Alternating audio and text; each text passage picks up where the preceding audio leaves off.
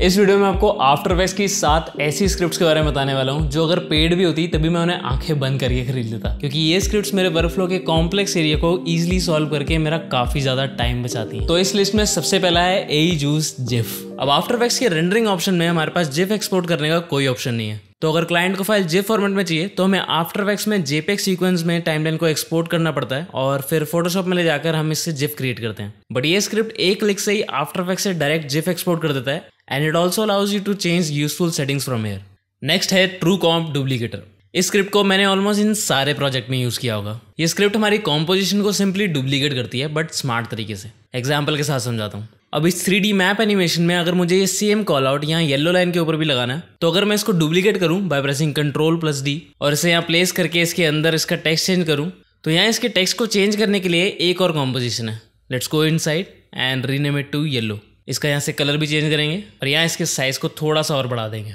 तो ये करने से हमारी मैप कॉम्पोजिशन में ये दोनों ही चेंज हो जाएँगी, क्योंकि ये कॉम्पोजिशन हमारी प्रोजेक्ट पैनल में एक ही है। लेट्स अंडू द चेंज अब इनको अलग अलग करने के लिए हम अपने कॉल आउट कॉम्पोजिशन को पहले अपने प्रोजेक्ट पैनल से डुप्लीकेट करेंगे। और अब इस डुप्लीकेटेड कॉम को अपनी येलो वाली कॉम्पोजिशन के साथ रिप्लेस कर देंगे। इसको रिप्लेस करने के लिए मैं यहाँ ऑल दबा के इसके ऊपर ड्रैग एंड ड्रॉप कर दूँगा और यहाँ ये रिप्लेस हो गया। अब अगर मैं इसके अंदर जाऊँ तो यहाँ हमारी एडिट टेक्स्ट वाली कॉम दोनों में सेम ही है। तो इसको भी अपने प्रोजेक्ट पैनल से डुप्लीकेट करेंगे और इसको भी यहाँ ऑल दबा के रिप्लेस कर देंगे। और अब हम इस कॉल आउट कॉम्प में अपना टेक्स्ट चेंज कर सकते हैं। आई नो ये थोड़ा कंफ्यूजिंग है but this is how After Effects works और इनफैक्ट हमारी इस कॉम्पोजिशन के अंदर अभी सिर्फ़ एक ही सब कॉम थी, जिसे हमने फटाफट से रिप्लेस कर दिया। अगर यहाँ मल्टीपल सब कॉम्स होती तो उनको एक एक करके डुप्लीकेट करके रिप्लेस करना और भी ज़्यादा कंफ्यूजिंग और टाइम टेकिंग प्रोसेस बन सकता था। तो इस हेक्टिक प्रोसेस को सॉर्ट करने के लिए I use true comp duplicator जो हमारी कॉम्पोजिशन और सब कॉम्पोजिशन को एक ही क्लिक में डुप्लीकेट करके रिप्लेस भी कर देता है। Let me show you how it work I delete my yellow line call out and let's duplicate our blue line and place it over here और अब हम अपने प्रोजेक्ट पैनल में सिर्फ़ अपनी मेन कॉम्पोजिशन को सिलेक्ट करेंगे, जिसे हम डुप्लीकेट करना चाहते हैं। यहाँ मैं सफिक्स के ऑप्शन को अनचेक कर दूँगा,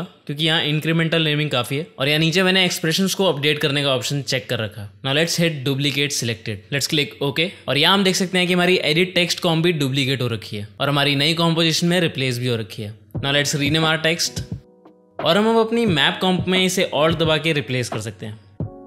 Next is R D comp setter ये स्क्रिप्ट आफ्टर इफेक्ट्स की नेटिव स्क्रिप्ट है जो आपको यहाँ मिलेगी। इस स्क्रिप्ट से हम अपनी कॉम्पोजिशन और सब कॉम्पोजिशन की सेटिंग्स को एक साथ चेंज कर सकते हैं। मैं इसे यहाँ प्लेस कर देता हूँ। अब मान लो हम एक प्रोजेक्ट में काम कर रहे हैं जिसका फ्रेम रेट है 30 एफ़ अब बीच में मुझे एक पार्ट पे ये प्रीसेट ऐड करना है, जिसका फ्रेम रेट है 25 फाइव एफ़ और इसकी सारी सब कॉम्स भी 25 फाइव एफ़ पे ही है। अब अगर इस कॉम को मैं अपनी 30 एफ़ की टाइमलाइन पे रखूँ तो हमारे कुछ फ्रेम्स में दिक्कत आ सकती है। तो इसको सॉल्व करने के लिए हम अपने प्रीसेट की मेन कॉम्पोजिशन को सिलेक्ट करेंगे और अपने आर डी कॉम सेटर में अपने फ्रेम रेट को चेक करेंगे। यहाँ हम कोई भी फ्रेम रेट टाइप कर सकते हैं। हमें इसे थर्टी एफ़ पे बनाना है तो थर्टी इज़ गुड और यहाँ इसको अप्लाई करने से पहले मेक श्योर कर लेंगे कि ये अपडेटेड नेस्टेड कॉम चेकड है, ताकि इसके अंदर की सब कॉम्स का भी फ्रेम रेट थर्टी एफ़ पे हो जाए। लेट्स क्लिक अप्लाई और यहाँ हम देख सकते हैं कि हमारी सारी कॉम्पोजिशन के फ्रेम रेट चेंज हो गए हैं। Now imagine changing their frame rate one by one for every composition.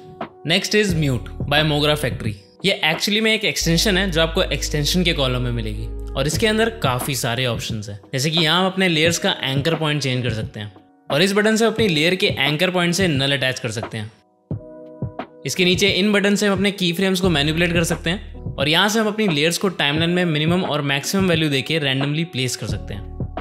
और इस लास्ट बटन से हम अपनी लेयर्स को अपनी टाइमलाइन में इवनली डिस्ट्रीब्यूट कर सकते हैं। मैं इसे अपने एक्सप्रेशन को आफ्टर इफेक्ट्स के अंदर सेव करने के लिए यूज़ करता हूँ, ताकि मुझे अपनी प्रॉपर्टी में बड़े बड़े एक्सप्रेशन ऐड करने के लिए कहीं बाहर ना जाना पड़े। इन्हें ऐड करने के लिए हम सिंपली अपनी प्रॉपर्टी सिलेक्ट करेंगे और यहाँ इस पर डबल क्लिक करेंगे। अब अगर आप एक्सप्रेशन के बारे में और जानना चाहते हो तो मैंने आफ्टर इफेक्ट्स के सारे इंपॉर्टेंट एक्सप्रेशन को इस छोटी सी प्लेलिस्ट में एग्ज़ाम्पल के साथ कवर किया। तो इस वीडियो के बाद आप डिस्क्रिप्शन में दिए गए लिंक पे क्लिक करके इस प्लेलिस्ट को देख सकते हो। अब नेक्स्ट है animation composer by mister Horse ये भी एक एक्सटेंशन है जिसे हम अपनी लेयर्स में ट्रांजिशन और इफेक्ट्स ऐड कर सकते हैं विद जस्ट वन क्लिक इसके फ्री वर्जन में ही इतने सारे प्रीसेट्स अवेलेबल हैं, जिन्हें यूज़ करके आप अपने वर्क फ्लो की स्पीड और क्वालिटी को एक साथ इंक्रीज कर सकते हो. I would highly recommend you to install this extension and explore all the presets by your दूसरे नंबर पे है Duik Angela by R X laboratory ये एक industry standard character rigging tool है, जिससे हम किसी भी तरह के टू डी कैरेक्टर को आफ्टर इफेक्ट्स में एनिमेट कर सकते हैं. लिटरली किसी भी तरह का कैरेक्टर अब ये स्क्रिप्ट शुरुआत बात में समझनी थोड़ी मुश्किल है, क्योंकि इसमें काफ़ी सारे ऑप्शन हैं जो काफ़ी डीप जाते हैं। तो इसको एक्सप्लेन करने के लिए मैं इसी चैनल पे आने वाले टाइम में बहुत अमेजिंग सीरीज़ लेके आने वाला हूँ, जिसे देख के आप अपने टू डी कैरेक्टर्स को आफ्टर में एनिमेट कर पाओगे। तो make sure you have subscribe to this channel and have click the bell icon to stay notified और अब हमारे पहले नंबर पे है F X console by Video